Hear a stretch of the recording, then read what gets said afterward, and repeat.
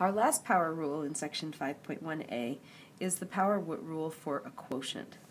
So this one says if you have two real numbers being divided by each other, because that's what a quotient is, that are raised to a power, just like the power distributed onto each of the factors in our product, it's going to distribute onto both the divisor and the, and the dividend in our fraction here. So that's equal to a to the n over b to the n. So looking at a couple applications of this, if we apply the squared to the x in the 6, we end up with x squared over 36.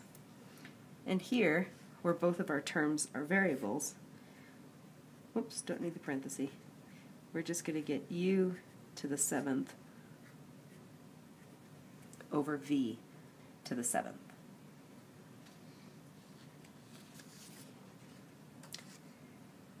Section 5.1b starts to talk about how we can combine these rules together. So the things I want you to keep in mind when you're doing these is that we still follow order of operations. You did see that just a little bit in problem 12.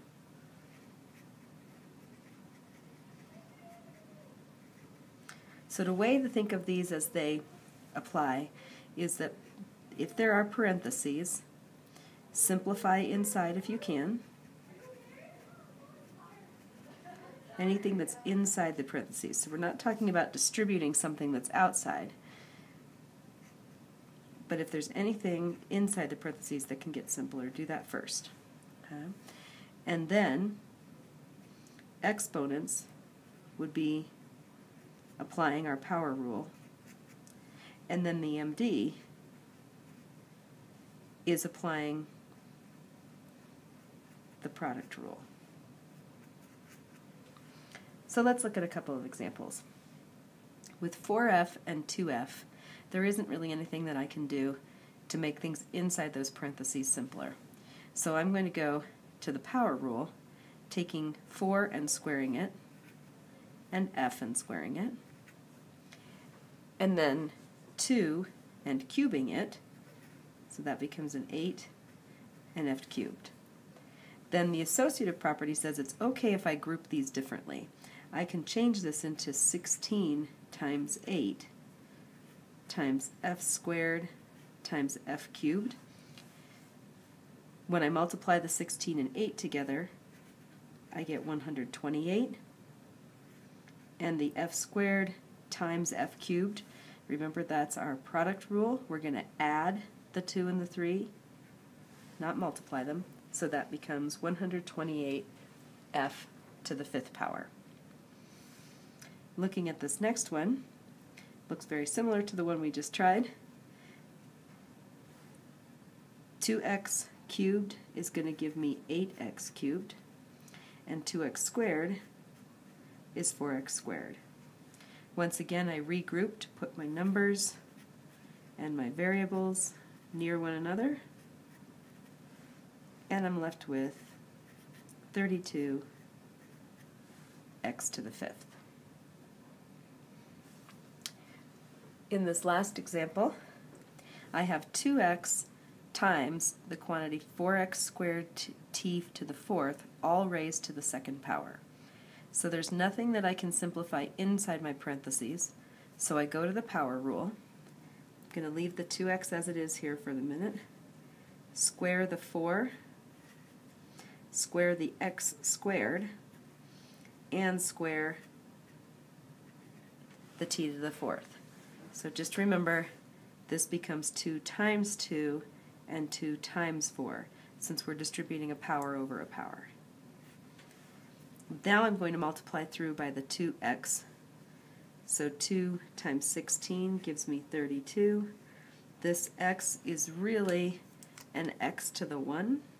So when it, since it's being multiplied by x to the 4, we're going to add those two exponents together, giving us x to the fifth, and then our t to the eighth is still a t to the eighth. Let's look at a couple more examples of combining these different rules of exponents. In number 18, we've got a 2 to distribute over each of the, the factors inside our parentheses here. So this will become 16 a to the 4, b to the 6, and all of that's being multiplied by negative 3. So a negative 3 times 16 gives us a negative 48, a to the 4, b to the 6.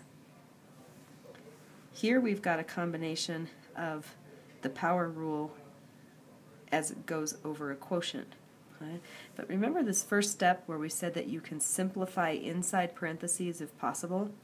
Look at this fraction we have right here, this 3 sixths. So I'm actually going to reduce within my parentheses first, making the 6 into a 2 and the 3 into a 1.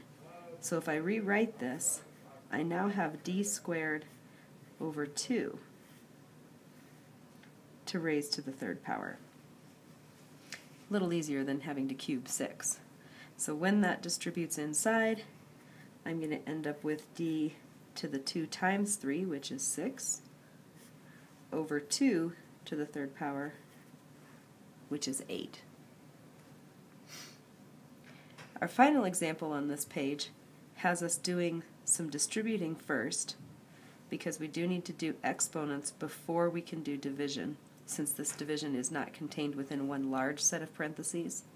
So I'm going to distribute the 2 inside the parentheses first, giving me 144 y to the 6 over 64, because 4 times 4 is 16, times another 4 gives me 64, z to the 30th.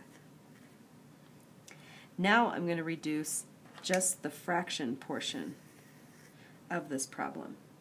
And since I can divide both the top and bottom by, it looks like by 16 here, when I divide the top by 16, I get 9. And when I divide the bottom by 16, I get 4.